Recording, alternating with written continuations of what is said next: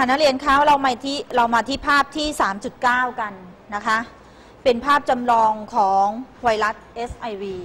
ไปที่ภาพในวิชวลเลยค่ะเเมื่อกี้เพื่อนก็รายงานไปนะคะแต่คุณครูก็จะบอกว่าเชื้อ HIV นี้ พอเราได้รับเข้าไปสู่อาเซลเม็ดเลือดขาวนะมันไม่ได้หยุดเพียงแค่นี้ มันมีโอกาสกลายพันธุ์ นะก็คือยีนเนี่ยมันได้รับสิ่งที่แปลกเข้าไปนะยีนมันก็จะมีการเปลี่ยนแปลง พันธุกรรมมันก็พันธุกรรมไอตัวยีนตัวเนี้ยสารพันธุกรรมตัวเนี้ยก็เกิดการเปลี่ยนแปลงได้กลายพันธุ์ได้ลำบากอีก แต่จะบอกว่าเเราจะไม่เป็นผู้ที่รับเชื้อ SIV เข้าสู่ร่างกาย เราก็จะต้องหนึ่งทำไมคะ ไม่มั่วเรื่อง เพศ ไม่มั่วเพศ ไม่มั่วเข็ม ใช่ไหมคะเออมีเรื่องเล่า เรื่องเล่าเช้าวันนี้ นี่เย็นแล้ว ก็จะเล่าถึงเรื่องของ อันนี้ไม่ขอหยิบยกว่าเป็นที่ไหนต่อที่ไหนนะ แต่จะขอเล่าว่ามีพยาบาลกับผู้ป่วย อันนี้เป็นเรื่องจริงพยาบาลเนี่ยก็ช่วยเหลือผู้ป่วยประมาณว่าผ่าฝีผู้ป่วยมา มาหาแพทย์ แพทย์ตรวจเสร็จเรียบร้อยแล้วก็คือลงความเห็นว่าเป็นฝีอันนี้ก็ต้องผ่าหัวออกทีนี้พยาบาลก็ทำการช่วยกันนะผลปรากฏว่าช่วงที่ผ่ามันก็เกิดอุบัติเหตุขึ้นมาตรงที่ไม่ใช่มีดหรือเข็มไปโดนมือพยาบาลหรือหมอนะเพลินหนองที่ฝีของผู้ป่วยกระเด็นโดน พยาบาล พยาบาลรู้สึกไม่สบายใจมากเขากลัวเหมือนเหมือนวิตกจริตไปเลยว่า เออ ผู้ป่วยคนเนี้ย ไม่รู้เหมือนกันว่าเลือดเขาเป็นเลือดบวกหรือเปล่า เพราะว่าการสัมผัสเขาก็กลัว มีก็มีหลายคนที่พยาบาลต้องสูญเสียชีวิต ที่ดูแลผู้ป่วยช่วยเหลือผู้ป่วยก็ต้องมาตายเพราะโรคเอดเพราะในการรักษาผู้ป่วยแล้วเราไม่รู้ว่าเขาเป็นพาหะหรือไม่ครูจะบอกว่าพาหะของโรคเนี่ยเป็นได้ถึง10ปี โดยที่ผู้ผู้ที่รับเชื้อมาเนี่ยมีพาหะของเอดแล้วไม่รู้ตัวด้วยนะว่าเป็นเอดมีพาหะแล้วล่ะ แต่ทำไมคะเขาเขายังมีความต้านทานโรคได้เขายังมีภูมิต้านทานที่แข็งแรงไม่เลือดขาวเขายังอยู่เยอะอยู่ใช่ไหมคะเขายังไม่ถูกทำลายของเม็ดเลือดขาวเขายังต่อต้านโรคออ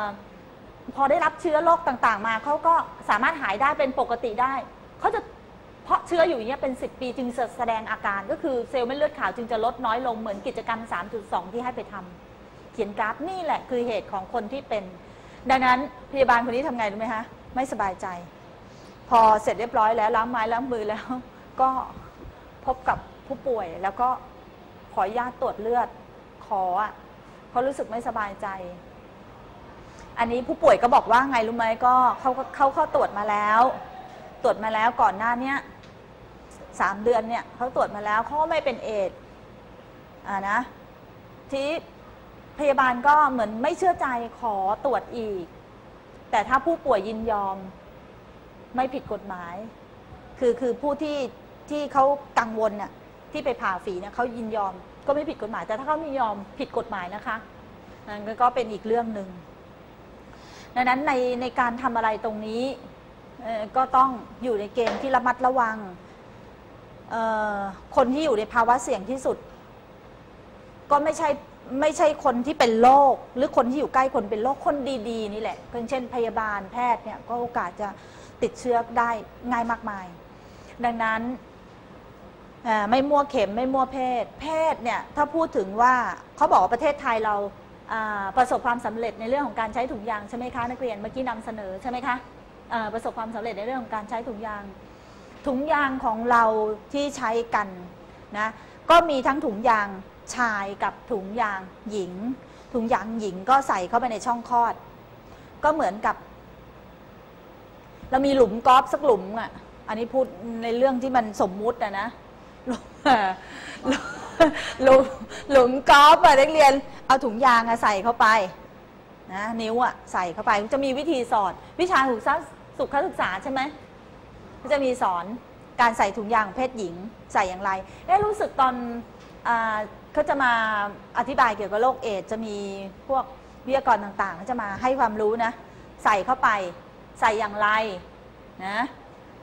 ในการใช้ถุงยางชายไม่ใช้เราก็ใช้ ถ้าเขาไม่ใช้เราต้องใช้ถ้าเราแบบว่าไงรู้จักกันไม่ดีพอ มันรักแรกพบรักปุ๊บหล่อสุดๆสุดจะห้ามใจได้ คืนนี้ออกเดทแล้วก็ทำไมคะ เสร็จฉันแน่เลย เออ เสร็จฉันแน่เลย ฉันก็ต้องพกถุงยางอนามัยไปด้วยนะคะเขาพกไปสองอย่างเลย แล้วก็ให้เขาใส่เขาไม่ใส่ฉันก็ใส่จบ อะไรอย่างเงี้ยนะเป็นเรื่องอะไรที่ถ้าคุณต้องการอะใช่ไหมคุณไม่ใส่ฉันก็ใส่จบอ่าเออมันเป็นอะไรที่ป้องกันได้เอ่อแต่มันคงไม่ง่ายขนาดนี้ใช่ไหมเพราะว่าเขาบอกว่าคนเราเนี่ยฝ่าจะมาถึงขั้นเอ่อตกล่องป่องชิ้นกันเนี่ย มันไม่ใช่เรื่องที่ง่ายๆ เอาหน้าแข้งไปปะทะฝุ่นอะไรอย่างเงี้ย เดินแล้วเอาหน้าแข้งไปปะทะลมใช่ไหมเราก็จงรู้ว่าเอดนั้นเป็นโรคที่ถ้าเป็นแล้วรักษาไอ้ยาที่ที่ได้มาจากต่างประเทศที่ว่าดีนักดีหนา ตอนนี้มันก็ไม่ใช่ว่าประสบผลสำเร็จและยาก็แพงแพงเราก็อยู่ได้ด้วยยาราคาแพงๆนี้ไม่ทุกครอบครัวใช่ไหมคะบางครอบครัวก็สู้ไม่ได้ก็ก็ต้องปล่อย ก็ต้องไปอยู่วัดอะไรคะ วัดพระบาทน้ำพุที่จังหวัดสระบุรีครูไปเที่ยวไปไปมานะคะก็จะมีเขาเรียกว่าอาจารย์พระอาจารย์ หรือหลวงพ่อเนี่ยเมตตามากนะมีให้รางวัลมีให้ของฝัน ผู้ป่วยจะมีกำลังใจมาก ผู้ป่วยจะไม่เคว้งคว้างจะไม่รู้สึกว่าเขาเป็นผู้ป่วย ดังนั้นก็จะต้องดูแลรู้จักวิธี ไม่สัมผัสแล้วพยายามไม่สัมผัสในน้ำเลือดของผู้ป่วย ดูแลรักษาสามารถจะรับประทานอาหารร่วมโต๊ะกันได้นะคะดังนั้นก็อย่าปล่อยให้ผู้ป่วย ถ้าเราเป็นเป็นคนที่รู้จักครอบครัวไหนที่เขาเป็นเอดเราก็แนะนำเขาได้ ว่าเราควรจะอยู่ร่วมกับผู้ป่วยอย่างไร ปฏิบัติผู้ป่วยอย่างไร จึงจะไม่ถือเป็นอาการที่เรียกว่าทอดทิ้งปล่อยให้เขาเดียวดายแล้วเขาจะรู้สึกแย่ภูมิคุ้มกันก็จะ บกพร่องแล้วก็สุดหนักลงไปกำลังใจก็เป็นเหตุนะคะค่ะนักเรียนคะสำหรับวันนี้แบบทดสอบจะยังไม่เอาขึ้นจะเอาขึ้นให้ในวันพุธนะคะ และก็จะได้เรียนเรื่องอพันธุกรรมกันนะในบทที่ 4 ก็จะสนุกนะคะสำหรับวันนี้ครูก็ฝากไว้แต่เพียงเท่านี้ สวัสดีค่ะ